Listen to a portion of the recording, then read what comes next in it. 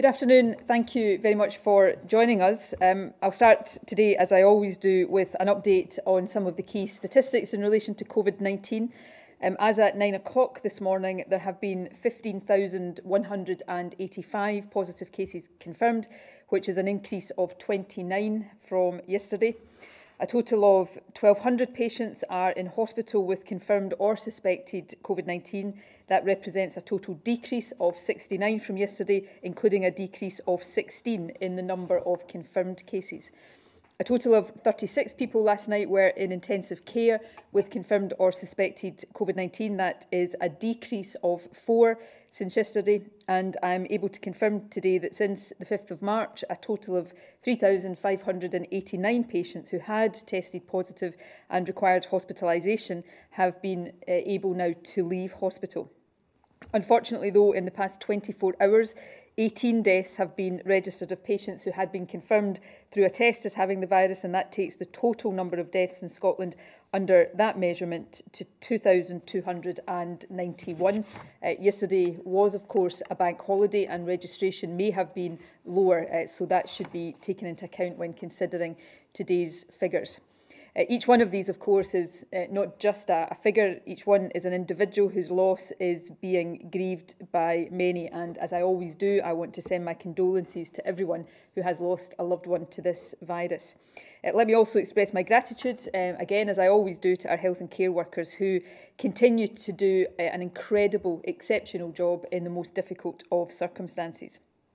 Now, today I want to take a little bit of time to focus on the launch uh, later this week of NHS Scotland's Test, Trace and Isolate programme, which is called uh, Test and Protect in Scotland, and the logo for it you will see on the screen behind me. From the end of uh, this week through Test and Protect, anyone who suspects uh, that they have COVID-19, uh, anyone who has the, the symptoms that we advise you uh, to be aware of will be tested. Uh, if you test positive, your close contacts will be traced and advised to isolate for 14 days. Now, the aim of Test and Protect is to quickly identify cases of the virus and then act to break the chains of transmission. You may recall that on the 4th of May, we published our initial plans uh, for this programme, and I can confirm today that the system will go live in every single one of Scotland's, Scotland's 14 health board areas on Thursday of this week. Now, Test and Protect will be an extremely important tool for us in the months ahead. It will help us suppress the virus while we slowly ease lockdown restrictions. But I need to stress today that it will only be effective if we all play our part. So today I want to briefly set out what the capacity of the new system will be at the point of launch and how this will develop. And I'll also set out how you as an individual, your household, your workplace and your employer can support us in making it work. Uh, firstly, we said that to launch Test and Protect nationally, we needed the ability to conduct more than 15,000 tests a day. I can confirm that this capacity is now in place. That capacity is being delivered through a combination of NHS labs, academic partners, the Scottish National Blood Transfusion Service and the Lighthouse Lab in Glasgow. Secondly, we said we would enhance and extend use of the software that public health teams already use for contact tracing in relation to other infectious diseases. Uh, that software has been piloted in Fife, Lanarkshire and Highland over the past week, and I can confirm that it will be operational in every health board by Thursday. Uh, thirdly, we said that we'd aim to have 2,000 contact tracers available by the end of this month. Now, I should say that based on our current demand estimates, we assess that around 700 will actually be needed in the early phase. However, I can confirm that by the end of the month, we will have a pool of around 2,000 to draw on if necessary. Now, this is a system that will operate at a scale not seen before in Scotland. We have, of course, had testing and contact tracing uh, before, but we are substantially increasing the scale.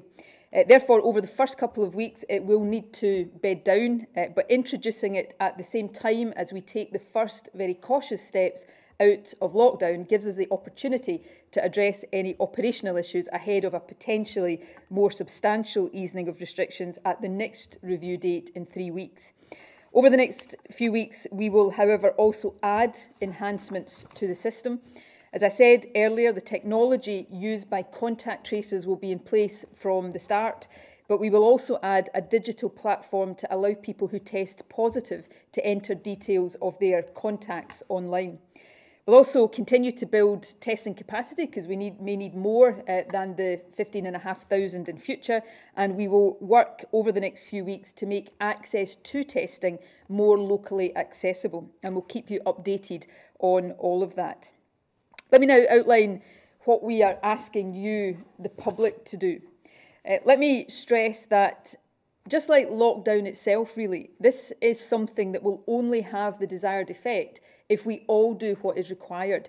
It cannot be seen as optional. To make sure we all understand what is required of us, uh, I can tell you that a public awareness campaign will start later on this week and during June information will be delivered directly to every household across the country. But I want today to set out some of the basics. Uh, firstly, as of Thursday, we are asking that if you have any of the symptoms of COVID-19, remember that is a cough, temperature or loss of taste or smell, uh, that you take immediate steps to book a test.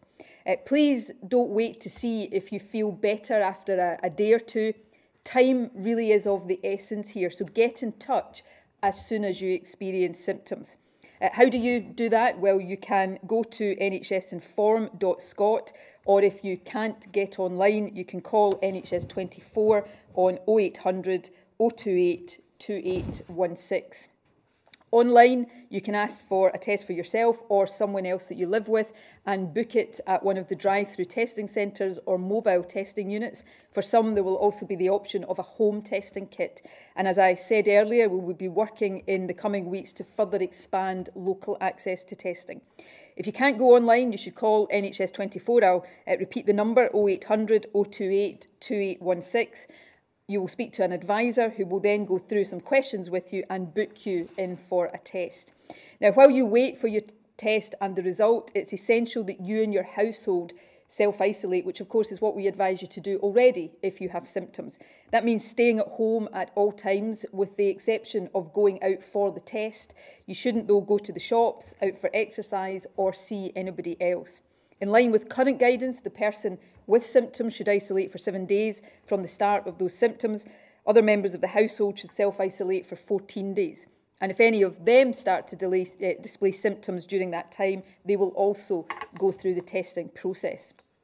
If your test comes back negative, you and your household can end your isolation at that point.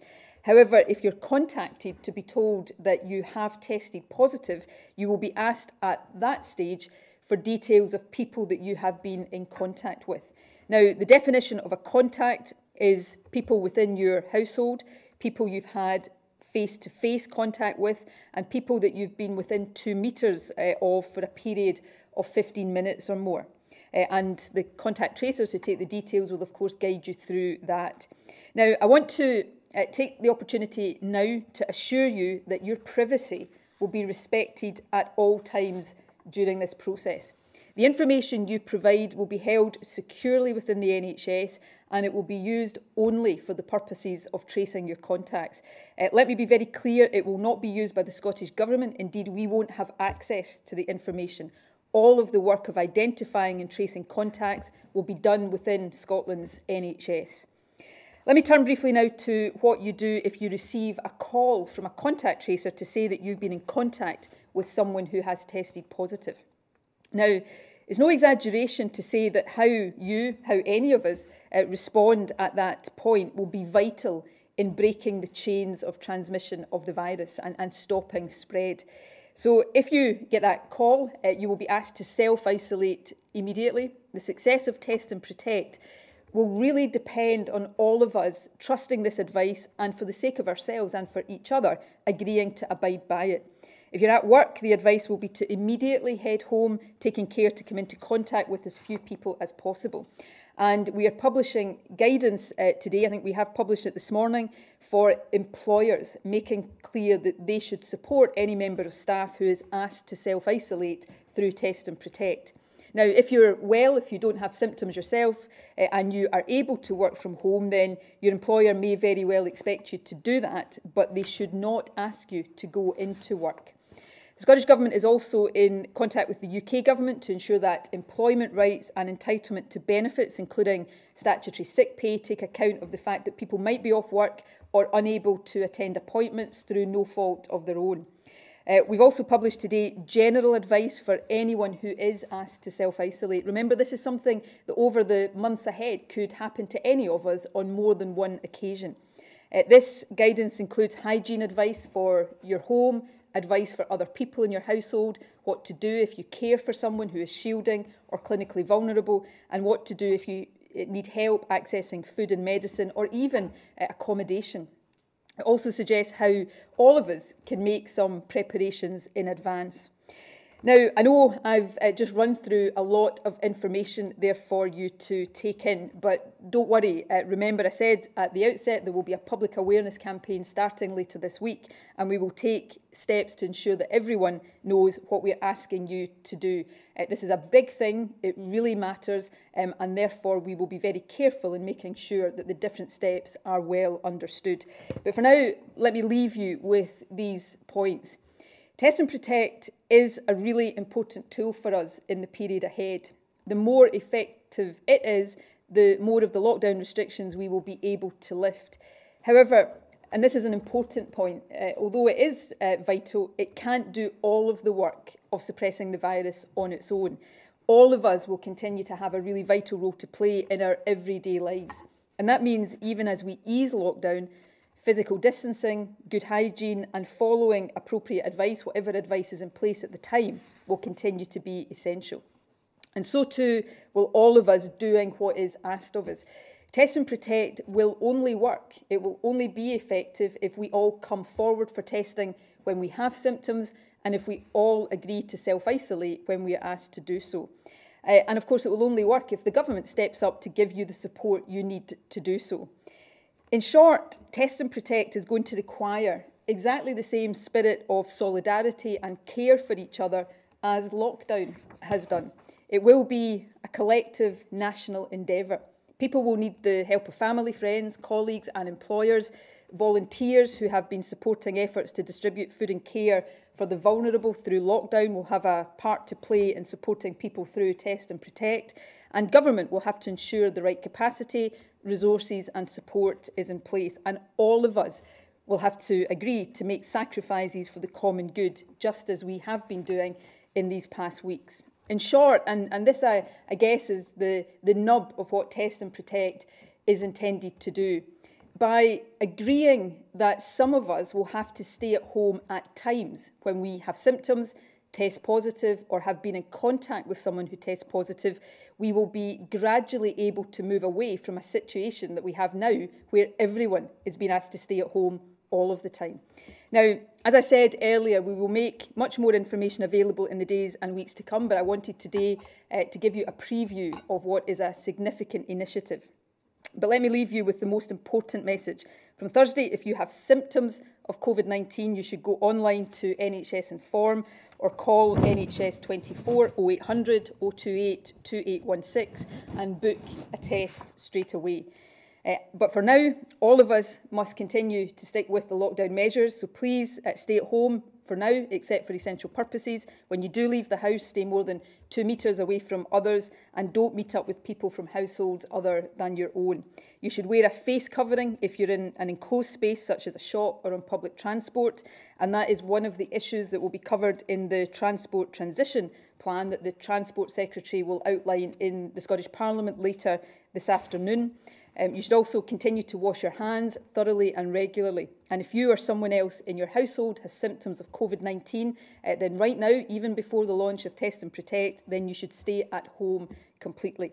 At the moment, these actions are vital to slow the spread of the virus even more, to continue to protect the NHS and to save lives. So my thanks once again to all of you for your patience, your forbearance um, and your willingness to make these sacrifices for the good of all of us. Now, I've taken uh, a little bit of time uh, today to go through that, such as the importance of test and protect. Uh, Therefore, I'm going to now go straight to questions from journalists, but you will have seen I'm joined here uh, today by the Chief Medical Officer and the Chief uh, Nursing Officer, who will, of course, uh, be helping me answer the questions that are put to us. Uh, but first up today, I'm going to uh, go to Glenn Campbell from the BBC.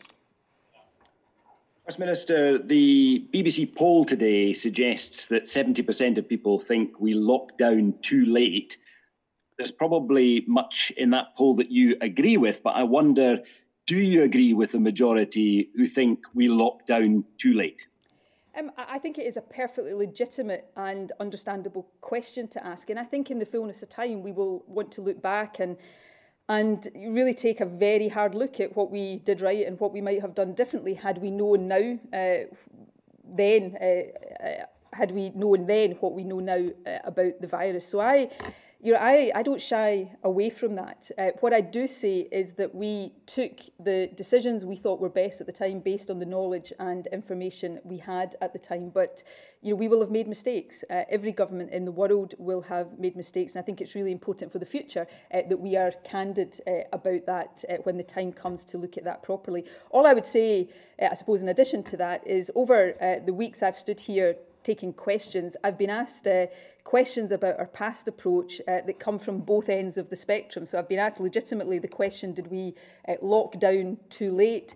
And equally, I've been asked, and those who've watched uh, throughout will have heard me being asked these questions, uh, is there any point of lockdown at all? And we've had, you know, Swedish uh, expert opinion uh, put to saying, you know, lockdown is pointless because those who are going to get the virus will get it anyway. So we take the best decisions we can at the time. We, we try to learn as we go. And of course, in the fullness of time, there will be real scrutiny and inquiry into what went right uh, and what we could have done better. And I uh, am absolutely uh, in agreement that that's important and indeed will welcome that because this uh, is hopefully uh, we will not have another pandemic for a long, long time to come, but we may well have pandemics in the future, and it's important that we learn lessons uh, as, as we come out of this one.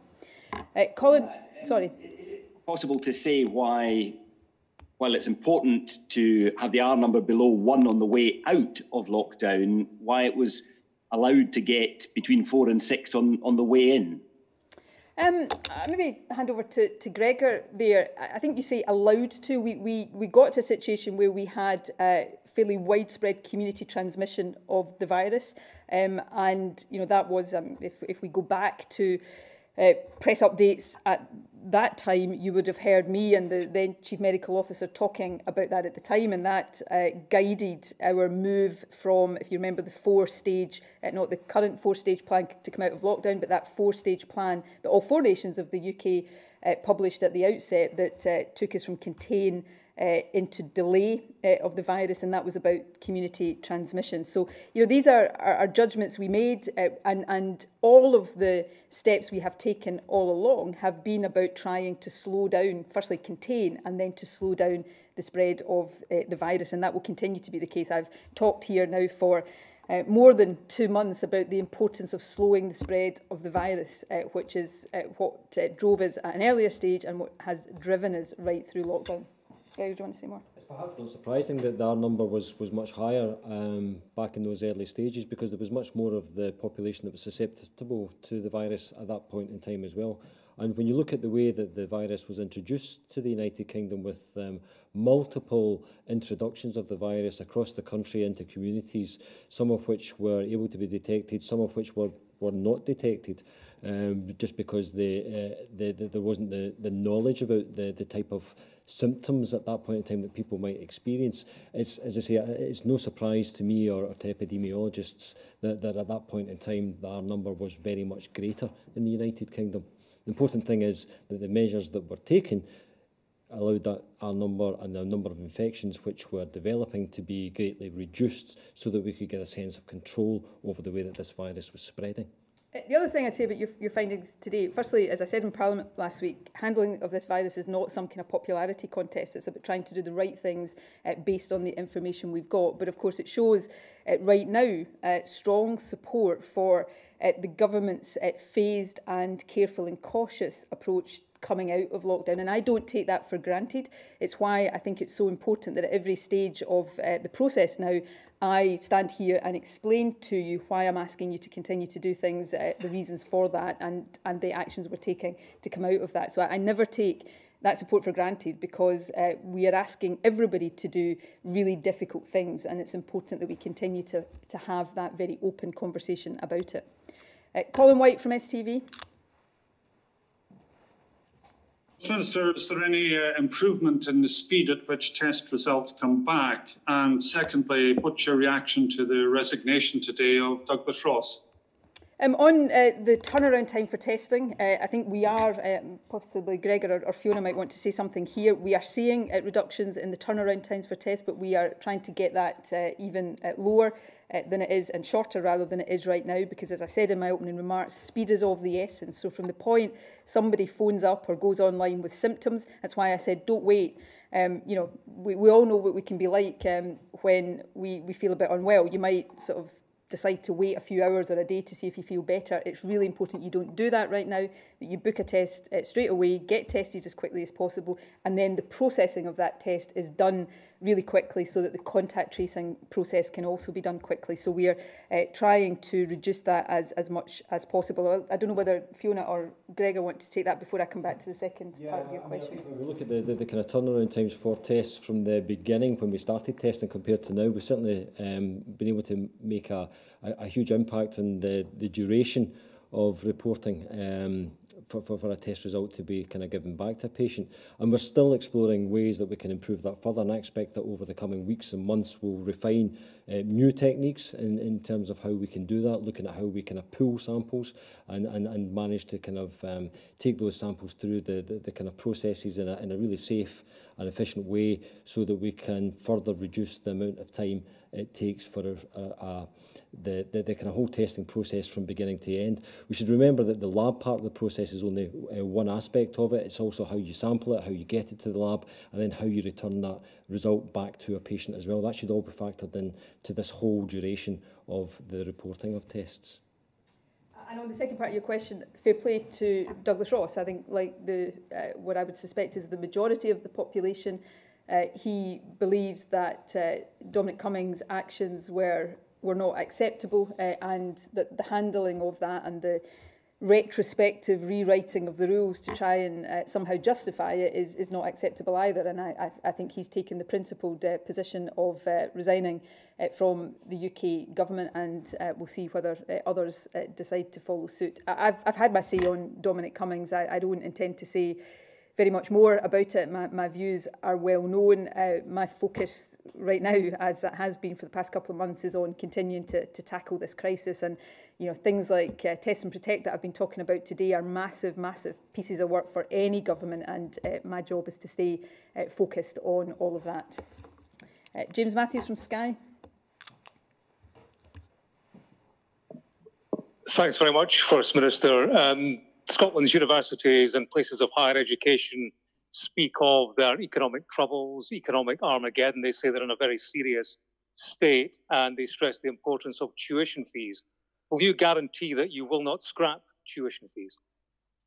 Uh, well, I, I will guarantee that I will uh, not uh, introduce uh, tuition fees. It's free tuition we have uh, in Scotland and, and I don't want to see uh, students having to pay tuition.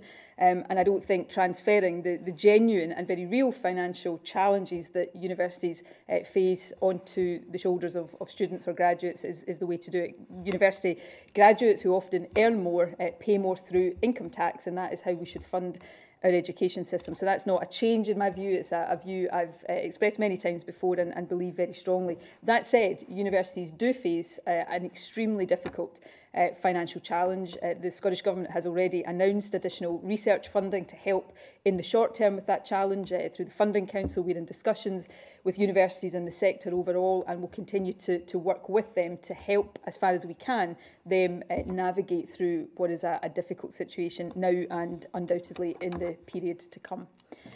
Uh, Peter McMahon from ITV Border. Uh, thank you, First Minister. You've just uh, spelled out the further steps you're going to take on test, trace and isolate, or test and protect, uh, as you call it. You have there said that it needs time to bed down. You've also said that you want to uh, further expand the capacity. If the Transport Secretary is today unveiling the transition plan for transport, if you haven't got to where you want to be on your test and trace uh, policy, what confidence can people have to go back on public transport if you're not there yet? Okay, I think you misunderstood me, uh, Peter, which I'll take responsibility for. I, we, we are where we want to be for what we think the capacity will be over this uh, next phase uh, of, of easing uh, lockdown. Uh, what I talked about was inevitably with a system that is being scaled up, you will have teething problems and no doubt operational challenges which will bed down over the next couple of weeks. But we believe we have the capacity uh, that will be required both in terms of uh, test capacity and uh, contact tracing uh, capacity that will allow us to get this system underway properly. What I'm saying is we may need greater capacity in the future. That is impossible to predict because we cannot uh, predict with certainty the, the path that the virus will take. So we uh, are absolutely planning to go beyond 15,500 tests. We are planning to uh, potentially go beyond 2,000 contact tracers, uh, but I, I don't want anybody to think that we don't have the capacity that we need to turn the system on on Thursday. Fiona, do you want to add? I, I think that's right, because of course the, the advice is going to continue. Socially distance, um, work at home when you can, wash your hands. So all of that will still be there, and therefore the, the whatever the first minister announces at the end of the week, that gradual lifting is not going to push people into close contact with each other and it will be gradual.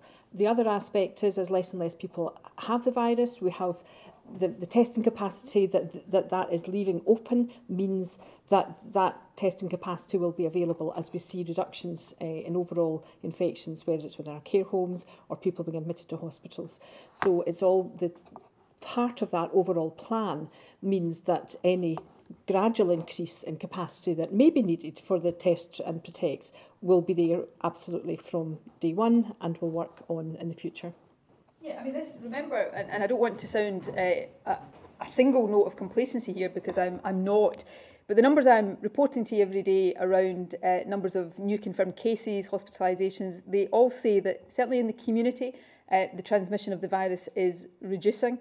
Um, and, and we need to keep it suppressed through the, the, the changes to behaviour that we've all been undertaking. Now, we can't stay in lockdown forever, but all of these uh, physical distancing measures, hygiene, that is about all of us trying to keep numbers of new cases as low as possible.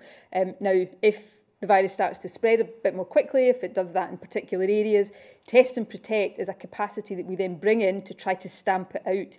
But for it to be as effective as possible and not to be overwhelmed, then it's really important that we all continue to work together to keep uh, the virus as suppressed as, as possible. And, you know, we've had a lot of discussions in, in recent times about you've got X testing capacity, but you're only doing Y tests. Now, there will still be discussion about that because we will also be uh, continuing to do routine testing in care homes, for example. Uh, but in actual fact, we will want to see in the weeks to come demand for testing from people with symptoms reducing because that will be a sign that we're continuing uh, to uh, suppress the virus. So we actually want to see, uh, certainly in that symptomatic uh, part of the demand for testing, these numbers decline. It's when these numbers are going up that we will have evidence that the virus is spreading again. So we obviously don't want to see that if we can uh, possibly avoid it. Uh, Jack Foster from Global. Uh, good afternoon, First Minister. We've all sadly heard stories about fraudsters looking to take advantage of this crisis. We also know that the victims of these sorts of scammers tend to be vulnerable or elderly people via scam phone calls. How risky, therefore, is it to launch this contact tracing system, which relies so heavily on what are, in effect, unsolicited phone calls to contacts who have potentially been infected? How much thought has been given to that, and how can people be certain that the person on the other end of the phone is genuine and simply looking and, and not simply looking to gather information about them? Uh, that's a, a good question, and we uh, are taking steps at every uh, stage here uh, to protect uh, people's privacy and to make sure there is security. We will make sure that we give more details about exactly what those steps are, both in terms of the people giving the information about contact tracers and the people who are being contacted uh, by a, a contact tracer in, in terms of the steps that will be taken to ensure verification of identity and, and such like. One of the things which is, I accept, about privacy rather than security is when you're called to say you've been in contact, and this is probably quite a hard thing for people to maybe initially get their head round, when you're called to say you've been in contact with somebody who's got the virus, you won't be told who it is that has tested positive because they have the right to confidentiality. Uh, now, there will be an understandable desire on all of our parts to say, who was it that I've been in contact with, but, but we can't do that. So there is going to have to be a lot of trust in this system, and therefore your question is important about how we build and maintain that trust. So we'll ensure that we, in addition to all of the other guidance we put out, we, we will put some information out there about the, the security and the steps that will be taken to uh, protect the security of that system. Uh, Alan Smith from Bauer. Thank you, First Minister. Uh, ahead of the public transport plan being set out this afternoon, you said people should wear face coverings if they're using public transport. Why not make it mandatory so there's one clear rule for us all to follow? Um again, that's a good question and we uh, will keep that under review. The short answer right now, which I've, I've covered before um, a little bit, is that we know that there are some people for whom wearing face masks would be difficult, people with particular health conditions, um, you know, with asthma, for example.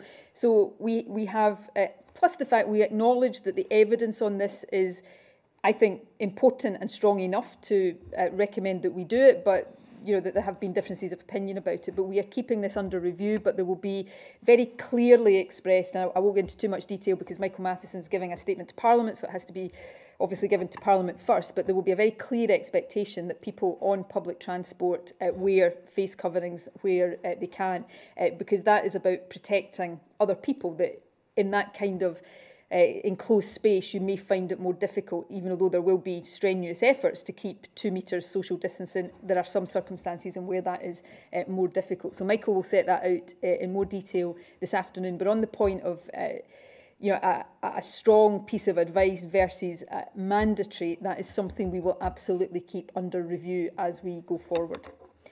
Um, Neil Pooran from PA.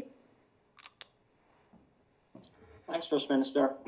On the test and protect plan, which you've just set out, um, uh, as you've said, uh, absolutely anybody could have to self isolate for 14 days if one of their contacts test positive. And of course, that could lead to some serious financial hardship for people. Uh, do you expect employers to keep people uh, on full wages during that 14 day period or put them on statutory sick pay? And also, what support is there for people who are self employed who might see all of their income dry up? We are, uh, so the guidance we've published today for employers uh, says to employers that we would expect them to work to protect the income of people who are self-isolating, but there is also a role here for uh, statutory benefits, including statutory sick pay. We are not entirely in control of that, um, and this applies to self-employed people and, and the benefit system as well. These are issues we are in discussion uh, with the UK government about because it is really important uh, that people have the support they need to self-isolate for periods, as I've candidly said before, may be multiple. We hope that's not the case. We hope the virus will continue to uh, decline in the community and this will not happen to lots of people and certainly not happen on multiple occasions, but it is, it is possible that it will. Uh, we're also uh, putting in place support which will build on the support that's been in place for the shielded category. If people don't have uh, family networks and can, that can get them food and medicine, uh, or even if people's own accommodation is such that self-isolating away from other household members would be difficult, there will in extremis be help with accommodation as well. So all of these plans are, have been put in place and will continue to develop as we uh, go through this. Um, I don't know whether either of you want to add to that, Fiona? I think that's why when Gregor talked earlier about uh, making sure that the turnaround time is, is as quick as possible because remember If someone has symptoms, they will be tested. Uh, they might test negative, in which case their, their close contacts at the moment would not necessarily be, be, be traced. But if they're positive, again, the assessment would be done as to whether they would need to be considered to be at risk themselves. So uh, if we manage to maintain social distance, keep our hands washed, uh, then the actual number of people who will have been in that close proximity and, and therefore who will be affected uh, will, will be kept to as low a level as possible. And that, of course, helps us then, it, it's a benefit to everyone in terms of not having to, to self-isolate or be tested, and it means that the virus is further suppressed.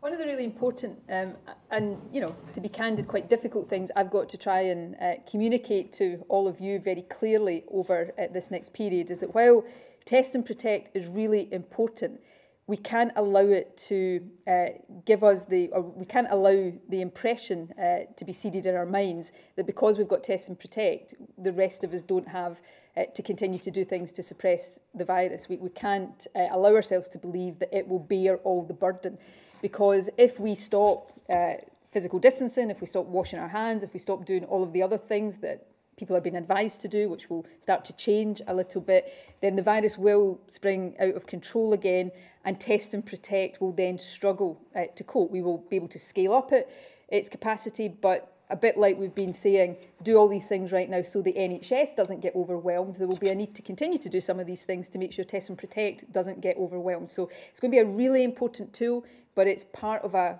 a box of tools. Uh, and just as important are all the things we're asking uh, every every one of us to do around physical distancing, uh, etc. So, you know, it's it's really important that we all, just as we've all come to understand why the lockdown measures matter so much, it's really important as we go into this next phase, we understand test and protect in its own terms, but also in the wider context of that overall fight against the virus. Scott Macnab from the Scotsman. Thank you, uh, First Minister. Um, you referred earlier to um, the slow easing of the lockdown in Scotland, depending on prevalence of cases in the community. But looking at the numbers um, we have today, and we've all been looking at these numbers over the past two months, um, we've seen further significant falls, particularly when I look at intensive care. I think it was 36 cases you mentioned, which is, I think, the lowest that's ever been. Hospital cases being significantly suppressed. I'm wondering if there's some kind of marker point that the health officials have identified which may prompt you to um, accelerate the four phase strategy for exit from lockdown. And also, if I may, on um, test and protect, where we talked about people who maybe get the phone call to say they've been in touch with an infected person, go home and isolate for 14 days. Um, is there any provision for those individuals to get priority or quick fire testing, which may allow them to get back to work if they're negative. So in that last part of the question, if they develop symptoms, they will then get tested, and then if they were positive, their contacts would be be traced. Again, this comes back to, uh, you know, we we have to uh, be a little bit careful when it comes to testing uh, asymptomatic people because it may give us some false uh, assurance. Uh, I think Gregor, do you want to complete that point before I come on to the yeah, I mean, I think latter the, part? There's a really important principle in here. If, if you've been in contact with someone who has been positive, if you've been told that you have been traced as part of this contact tracing uh, process, and you then go on to develop symptoms, it's really important that on the development of those symptoms you are then tested. However, if even if you test negative at that point in time, you should go on to complete your 14-day isolation period. And I want to emphasise that point because it, just because you test negative at that point in time doesn't mean to say that you won't go on to become positive or develop further symptoms during the rest of that 14-day process uh, period. So, as I say, I think we just need to be really clear about the requirements that are being placed on, on, on people uh, around about this. Yeah, um, thanks. Uh, and on the first part of your question, the, the route map that we set out last week, and in fact the, the previous two papers, talked about the basket of measures that we will use to make these decisions. The R number, um, as we've talked about before, really important. Uh, so too is the, the relationship between the R number and incidence of cases, so the number of new cases each day, but that supplementary basket of measures, which are the ones you've talked about, uh, uh, hospital admissions, ICU admissions and you know sadly the the number of deaths. Uh, so there's no there's no sort of uh, set line uh, that we draw but these things are, are all taken into account and then the advice will give us uh, the steer as to how quickly we can move in in easing the lockdown. And as I said last week we set out a cautious uh, pathway ahead. If the evidence tells us we can um, accelerate that at any stage, then we will we will do that. I've always said, and it's it's worth repeating, that we don't want to keep these measures in place longer than we have to.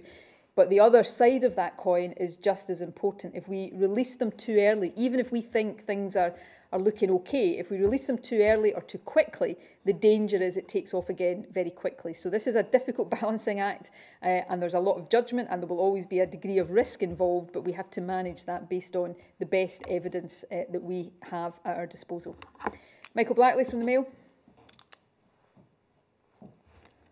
Hi, good afternoon. Um, one of the concerns with the testing scheme already has been the, the difficulties for some people who can't who don't drive and, and can't get to the testing centres. Um, you made reference to home testing. Can you give a bit more detail on just who will be able to get a home testing kit? How many of them will, will there be? And what is the solution for people that can't get to, to testing centres? I'll hand over to Fiona in a second, but can I firstly just draw a distinction, um, which may seem a bit of a, an obscure distinction between home testing kits and being tested at home. They're not necessarily the same thing. So a home testing kit is where you get a kit through uh, the post, or I think through the post, and you have to test yourself and, and send it back. Um, the uh, online uh, approach that I've spoken about will, will tell people whether they are able to, to get a home testing kit. Um, you know, some people are, will not be that comfortable with doing it because it involves doing the test yourself. What we are looking to do over time is expand the ways in which we might be able to test people at home, but it will be a test done by a health professional or somebody trained to do that rather than a test you're having to do yourself. So that's what we're quite keen to, to develop. That won't be uh, immediately, but that's what we will seek to enhance uh, over the period. It, what is there immediately are the mobile testing uh, units, which go to different parts. I think there's 13 of them um, at the moment, and they move around every few days, which will be a, an important part of this. And I think what we are wanting people to do is where it is possible for them to go to a unit and get tested themselves, we would encourage them to do that. There's then going to be people who who, who physically, um, they may have symptoms but they feel well enough, but actually they have to go in public transport. Well, we're not wanting that to happen either. And then there's going to be a number of people who actually cannot leave their home.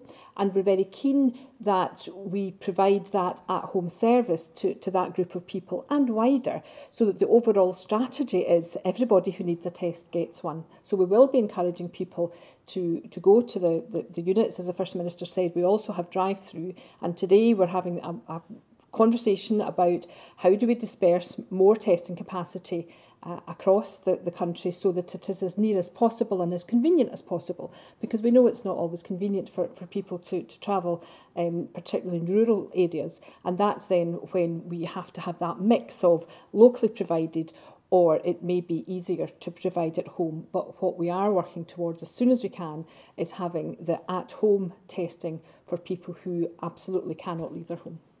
I mean, we will work really hard to make this as accessible for people as possible, particularly those who, for a variety of reasons, don't find it easy to leave their home or to travel any distance. But again, you know, one of the hard things I, I have to level with you on is that all of this, every single aspect of dealing with this horrible virus right now, involves a bit of sacrifice and inconvenience on all of our parts. And, and unfortunately, I'm not going to be able to tell you that that is going to end uh, in the immediate future. So e this test and protect system, uh, for it to work, whether it is about going to get a test or then isolating when you're told to, it's asking all of us to, to live our lives slightly differently. And, and I'm, you know, it wouldn't be fair of me to stand here and say that all of that inconvenience will be able to be taken away. All I can say to you is we will try to reduce it as much as possible and make this as easy and as accessible a process as we possibly can. Tom Martin from the Express. Hi, uh, hi. Good afternoon. Thank you. Um, just on the pool of 2000, um, the Health Secretary a couple of weeks ago referred to um, possible involvement of St Andrews ambulance volunteers. I just wondered, is are they still going to be involved? Is there any idea of how many of them will be required to help with this pool of 2000? Um, they are still a potential pool, although it's not necessarily one we will uh, deploy immediately. So uh, as of today, we have uh, 1,615 uh, contact tracers um, identified. Um, 1,515 of them come from uh, NHS boards, uh, including the ambulance service. Um, there's the other 100 from National uh, NSS and Public Health Scotland. There are also uh, a number of NHS returners uh, being assessed um, at the moment. Um, and all of that is before we start to recruit from the 27,000 applications that we've had. And they're being uh, processed, I think, at the rate of uh, 150 uh, a day right now. The closing date for that advert, of course, was uh, just Friday of last week. And over time, uh, we will recruit from that to um, replace current NHS staff who maybe been redeployed to do this work because they're not doing what they would normally be doing. There are some who will be, um, you know, for, for variety of reasons because the, the NHS is operating differently right now, able to do this, that they might not be able to do it in a few months, so we will recruit to replace that. So uh, that's 1,615 that we know we have right now, and we expect that to be around the 2,000 uh, by the end of the month. So that is absolutely on track. But let me uh, repeat what I said earlier on. Based on our assessments of the, the prevalence of the virus and therefore the demand for this, Uh, our current estimate is that in the early phase of this, we will probably only need about 700 contact tracers. So I hope that gives people um, some assurance that we have the capacity we need, but also the ability to upscale that capacity should demand be greater than we anticipate it to be. Do you want to add anything? Um, Vivi, sorry, no, Simon Johnson from The Telegraph. Um, Boris Johnson announced yesterday that shops are going to start reopening in England next month. And also, I think he said car showrooms because their large footprint makes it easy to uh, do social distancing. Uh, under the plan you unveiled last week, small shops and outdoor markets are in phase two and large shops phase three. I just wanted to clarify whether car showrooms are outdoor markets or large retail units. And could you explain the logic of opening large shops later because instinctually you think it would be easier to have social distancing in a shop with a large floor footprint than in a small shop? Um, the logic uh, really is about numbers of people that you would have congregating uh, potentially, but the point about social distancing is, is certainly a valid point to make. So we will also be looking at some of the finer detail of that. You know, even for larger shops, could they open a portion of it, for example. So all of these things, we want to get shops open as quickly as possible, but it has to be safe. And you know, Fiona Hislop over uh, the, the coming days will be setting out sectoral guidance that will help uh, companies prepare for, for what they need to do. In terms of the phasing, um, I will set out on Thursday. Well, firstly, are we going into phase one of uh, easing of lockdown? And if we are, which I at this stage anticipate we will be, uh, but what measures we will start to ease. Uh, as you say, retail, other than outdoor retail, uh, would be in phase two. Now, I can't tell you right now exactly when phase two will begin, but we have a, a three weekly review cycle, so it is, it is possible, uh, and I put it no more strongly than that, that at least aspects of phase two could kick in in Scotland uh, round about the middle of June or, or slightly after that. So we will continue to assess all of these things very carefully and very cautiously. Um, my uh, only guiding principle right now is getting the virus suppressed and keeping it suppressed and consistent with that, getting the, the economy going and our everyday lives going uh, as close to normal as possible,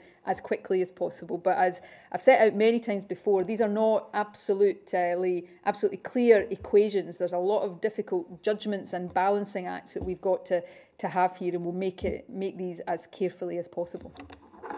Uh, Vivian Aitken from the Daily Record. Good afternoon, First Minister. Um, we see today the level of backlog we've had in diagnostics, outpatients and treatment time guaranteed procedures. By the end of March, more than 19,000 had waited more than six weeks for diagnostics, even though there were almost 9,000 fewer referrals. There were almost 10,000 fewer admissions compared to the same time last year.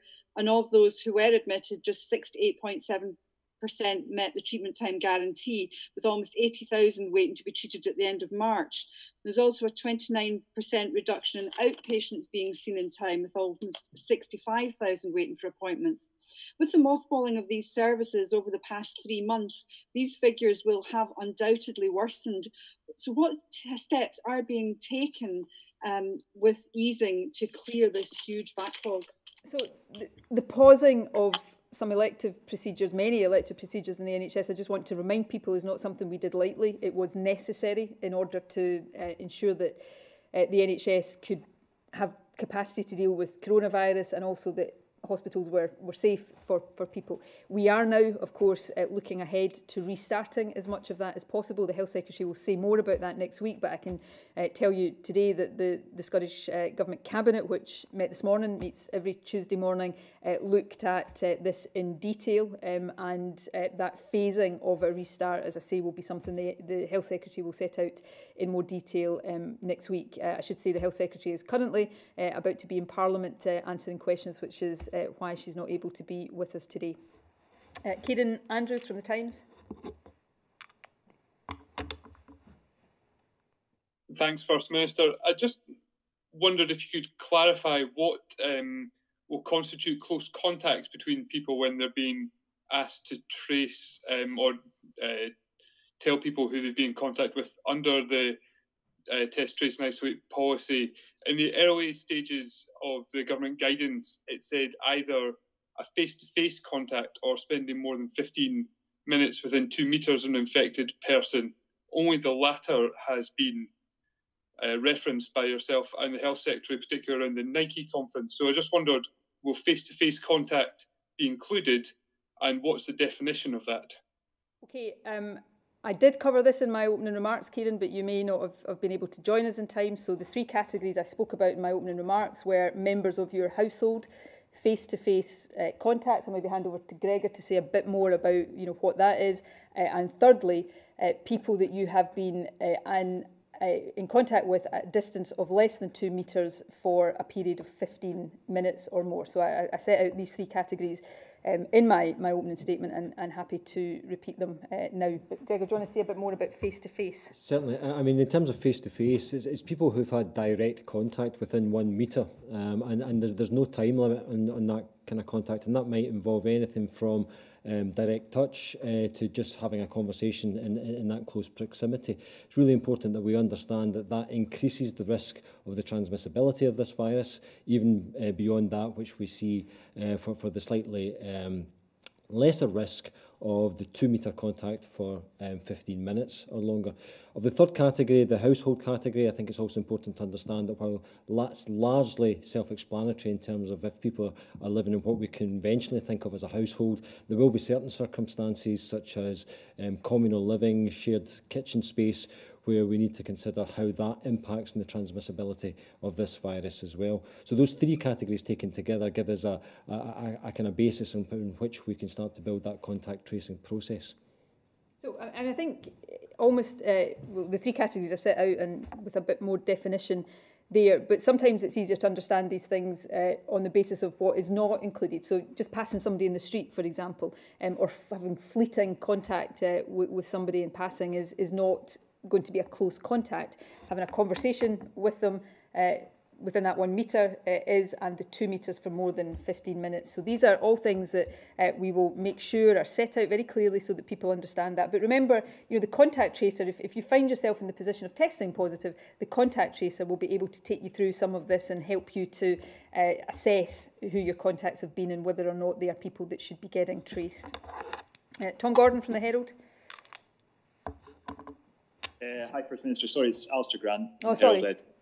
Tom was having technical problems. Um, could I just ask, will further sector-specific funding be in place for businesses as, as the four-stage plan to ease the lockdown comes into effect? Uh, to give just one example, small grassroots music venues have real concerns that they will not be able to survive if they are simply told they can reopen but must maintain social distancing rules. Uh, so will further funding be made available to help them and other businesses cope and if necessary stay closed or operate at a drastically reduced capacity? And can I also just ask quickly, uh, the Herald has today launched a Garden of Remembrance campaign uh, to create a place where people can go to remember relatives they may have lost during the coronavirus crisis. Uh, this could see a, a, memorial cairn built to remember the victims of COVID 19 in Scotland. Is this something you would lend your support to?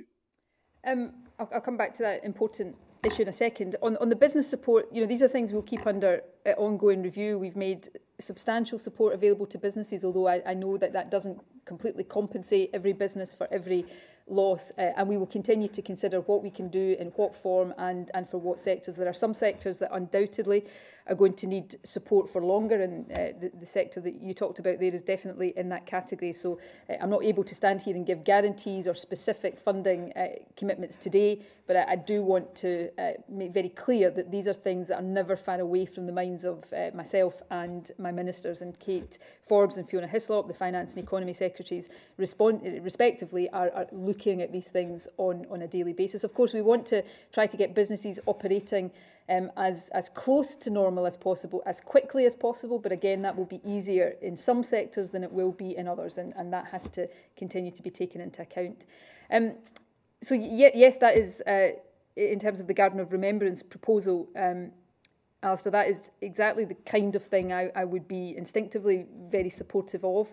I absolutely know that at an appropriate time we will want as a country to uh, remember and pay tribute to those uh, who've lost their lives uh, from this virus and you know we will also want to appropriately recognise all of those who've made a contribution to tackling uh, this virus and I think it's it's really important for all of us uh, you know emotionally for all of us as well as for this, the sake of those who have suffered direct loss that we do that.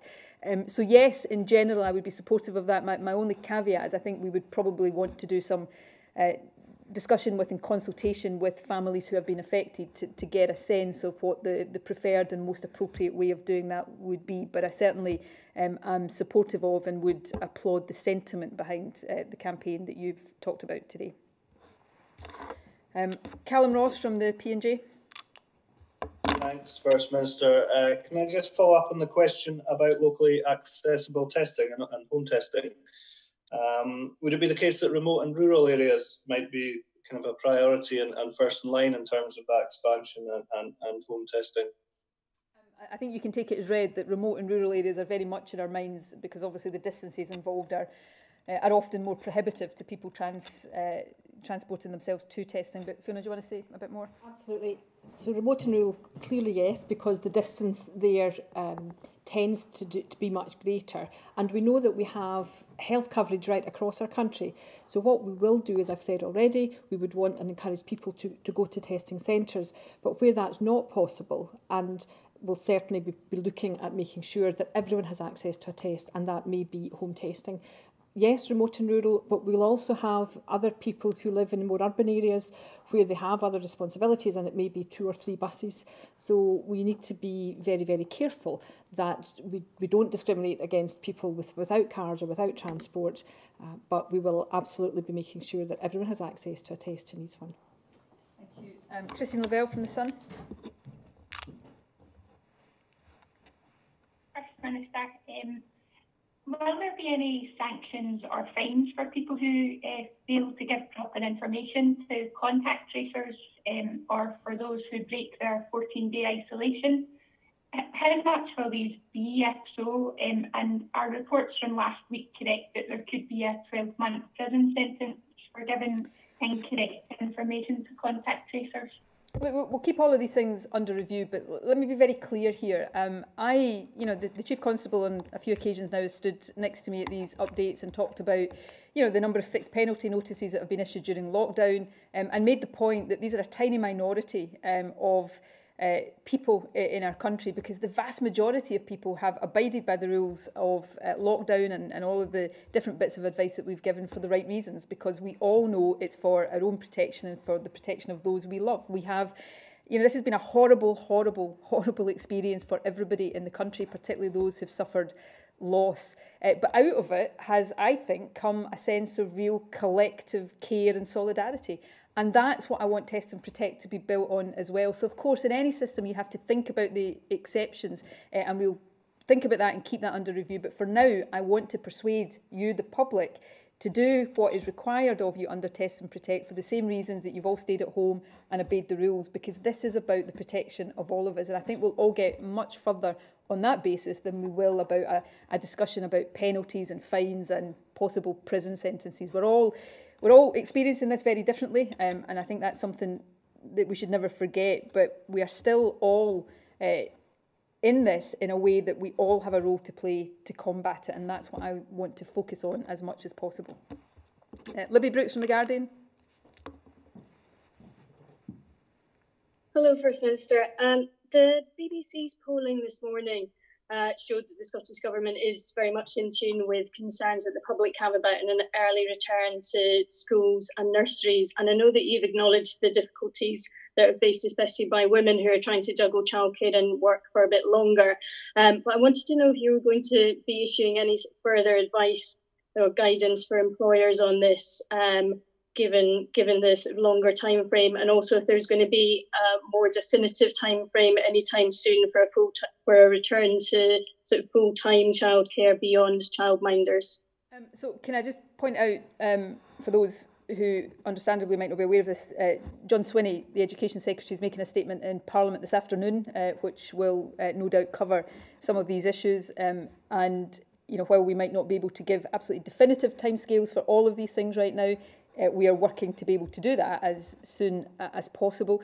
Um, the phase one of the uh, plan to come out of lockdown, of course, has childminders operating uh, ahead of schools going back. So this is very much a, a phased uh, approach that we will uh, continue to try to, to do as quickly as possible, but absolutely as safely um, as, as we need to. And yes, we will all along on all of these issues seek to give guidance to employers, uh, just as we are doing around test and protect. Uh, employers will have to you know, have a, a degree of patience and understanding uh, of, for parents who have childcare challenges.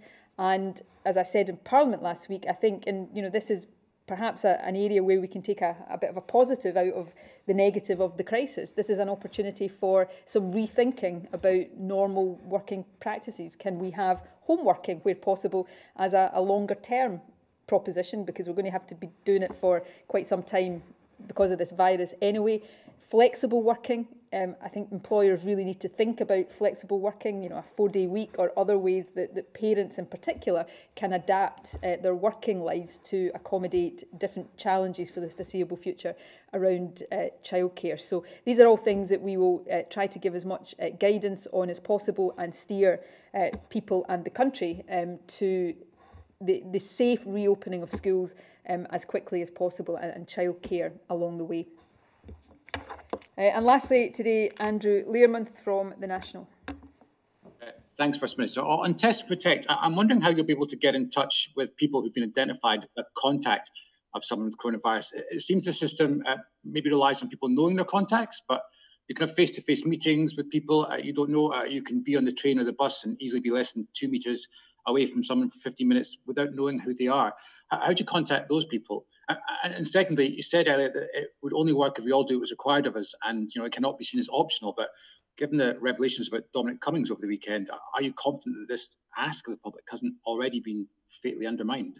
Uh, yes, I, am going to hand over to Gregor to say a bit more about contact tracing. Um, we're, we're, I should say on that, we're looking at the ways in which different countries are doing this and trying to learn uh, as much as we can uh, along the way from that. At some point in the future, um, although I think it is in the future and we've not built the system around it, the idea of a, a proximity app may have a part to play, but you know, as I say, we're not building it around that. Uh, on the latter part of your, your question, um, yeah, I am confident that the Scottish people will continue to do the right thing because uh, while I'm sure there's a lot of anger and frustration about certain things we've been hearing about in the last few days, ultimately we all know that we are not just complying with all of this advice because somebody is telling us to. We're complying with it because it's in our own interests. And um, I don't think the Scottish people are, are going to get into a position of us cutting off our nose to spite our face. We, we're doing this for the best of reasons. It's protecting ourselves, it's protecting the people we love, and it's protecting our wider communities. And I think that common sense and desire to do the right thing will shine through. I've uh, certainly had that faith in the the good sense of the Scottish people reinforced and strengthened in me over the past couple of months, then I've got no reason to believe that that will change as we go into the next phase of this.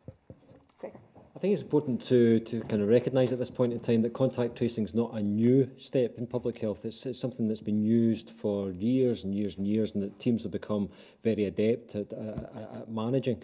And, and And by and large, the experience has been that people are very willing to participate in that contact tracing process and able to share the details that are important so that that contact tracing can actually take place. So, so we're on a, a kind of well-worn path here um, where we know the, the, the footing is fairly firm. And where there's more complex arrangements which are necessary because of the type of contact that people have had, maybe it has been in a more open situation, those are generally uh, uh, assessed by very experienced health protection professionals who look at the entirety of the risk in that scenario. And, and, and then there's various ways that they can explore um, how they might contact people who um, they feel um, are necessary to contact uh, when, when that situation arises. And that might be because of the, the use in a kind of more open space uh, where it's, it's not immediately um, available the, the kind of contact details of the people who might have been participating there. So, so there's nothing about this that is new, and we'll be kind of um, eh, uh, kind of falling back on, on, on well-worn processes to make sure that we um, contact as many people as possible. That's a good point to, to end on, actually. The, the scale of what we're about to do is new because it's much bigger than anything we've done before, but the, the principles of it and the tried and tested approaches, as Gregor said, are not new. Uh, for other infectious diseases, uh, you know, Ebola, for example, on a much smaller scale, experts are used to doing this. So we're not absolutely starting from uh, nothing here, far from it. We're just having to scale it up to a much, much bigger uh, form. Um, that concludes our questions today. So my thanks to uh, Gregor and Fiona and Anna, uh, our BSL interpreter for today. Uh, thanks to all of you. I appreciate earlier on I gave you quite a lot of information there that might have been quite hard to absorb all at once, but I would remind you you'll be seeing this logo behind me here. You'll be seeing a lot of it in the coming days. We will have that public awareness and marketing campaigns start to kick in at the end of the week uh, and in uh, a few weeks you'll be getting information through your doors and you can always of course access NHS Inform uh, to find out more about uh, what I've been talking about today. Uh, but remember from Thursday if you've got symptoms NHS Inform or the helpline at NHS 24 to book a test. That's the one message I want to uh, want you please to take away from today. Um, I will be in the Scottish Parliament uh, delivering the update tomorrow at 12.20 um, at a session of First Minister's questions and then we will be back here in St Andrew's House at 12.30 on Thursday. But for now, thank you for joining us.